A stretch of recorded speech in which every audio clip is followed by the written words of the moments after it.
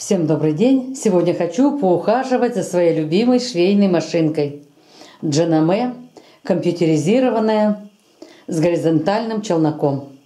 Я на этой машинке прошила, вернее сшила несколько вещей из драпа. И поэтому я так думаю, что там уже ворсой все забилось, ход у машинки тяжелый. Посмотрим, как она шьет сейчас.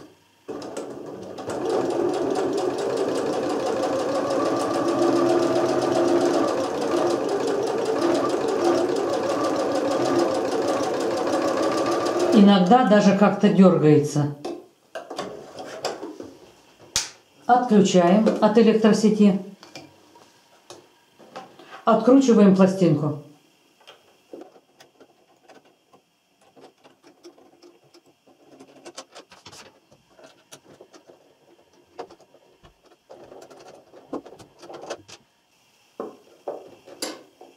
Убираем лапку, чтобы нам не мешалось.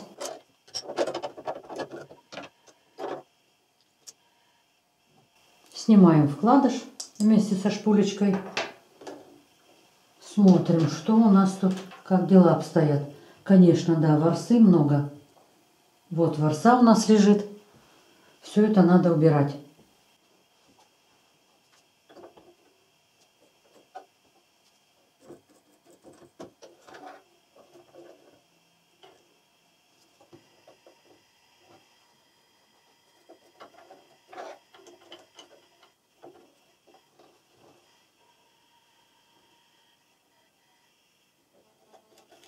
Чистим все. И внутри вкладыша, не торопясь, все вычищаем.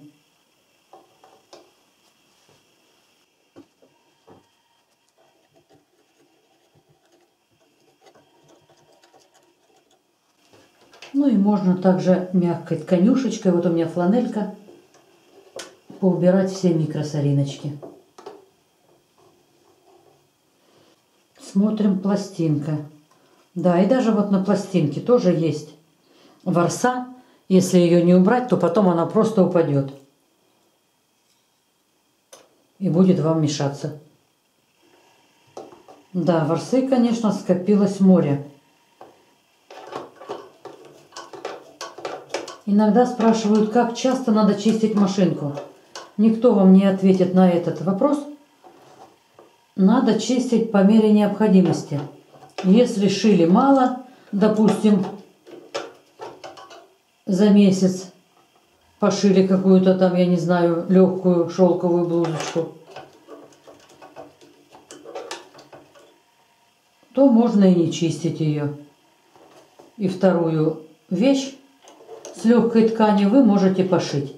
А если я пошила юбку, и, по-моему, даже две юбки я пошила – на этой машинке. У меня машинок несколько, поэтому точно сказать не могу, сколько я вещей пошила. Ну вот сумочку пошила недавно, тоже драповая. А драп это всегда ворса. Вон сколько, немерено, немерено. Короче, чищу без камеры, а потом покажу вам результат, как она стала работать после чистки.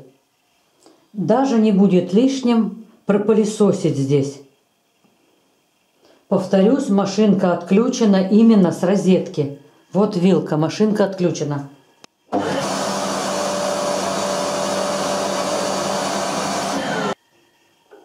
Вкладыш протерли, вкладываем. Вот щелчок был характерный. Значит, вкладыш наш сел правильно. И теперь пластину отправляем на свое место.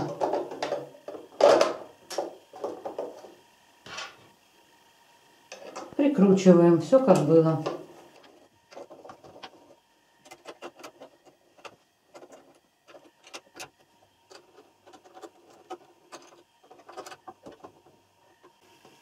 Вставляем катушку.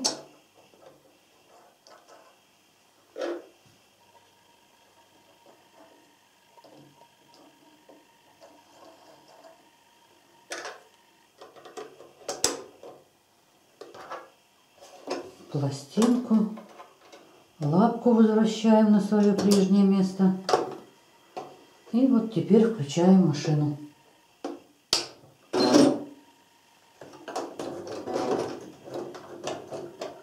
Достаем ниточку и будем смотреть, как теперь наша машинка будет себя чувствовать.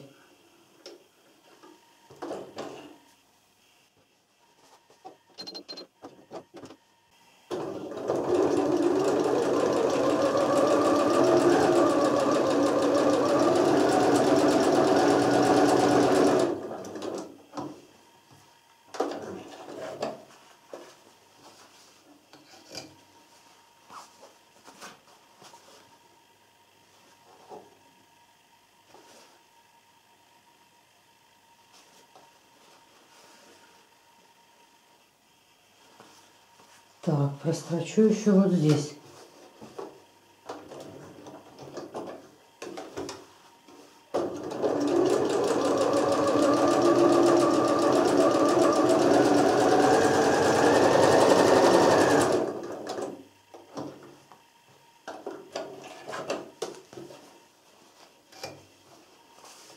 Смотрите, даже стягивать перестала.